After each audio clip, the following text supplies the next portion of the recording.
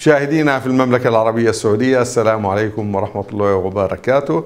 إليكم الأحوال الجوية المتوقعة على خرائط درجات الحرارة. نلاحظ أن الكتلة الهوائية الحارة التي أثرت على المملكة خلال اليومين الماضيين بدأت بالتراجع وأصبح هناك كتلة هوائية ذات درجات حرارة أبرد تتقدم من الشمال باتجاه المناطق الشمالية والوسطى من المملكة لتسيطر على المناطق المناطق الشمالية والوسطى وبالتالي يكون هناك تراجع واضح على درجات الحرارة وانخفاض تدريجي بإذن الله يومي الأحد والاثنين أيضا.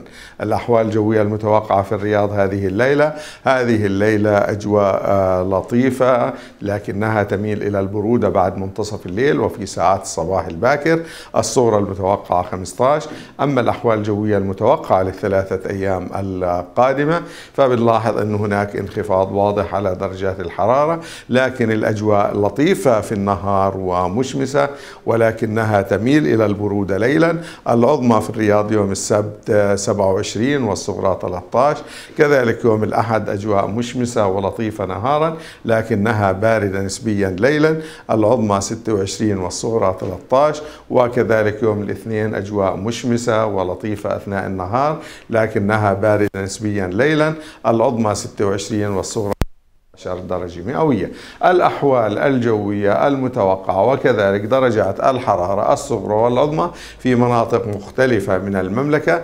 المناطق الشمالية أجواء تقريبا لطيفة بالنهار لكنها باردة ليلا. سكاكا 18 8 عرعر 17 8 وتبوك 20 8 بنلاحظ أنه درجات الحرارة أقل من معدلاتها حتى في النهار والليل. المناطق الغربية المدينة المنورة مشمسة معتدلة في النهار لطيفة ليل بالليل 30 إلى 17 جدة 32 21 مكة المكرمة حارة نسبيا 37 17 الطائف 28 إلى 17 درجة مئوية. المناطق الجنوبية الغربية من المملكة أجواء غائمة جزئيا لكنها لطيفة بالنهار وأيضا بالليل. العظمى في الباحة 22 والصغرى 15 أبها 25 14 جازان 29 إلى 25 درجة مئوية.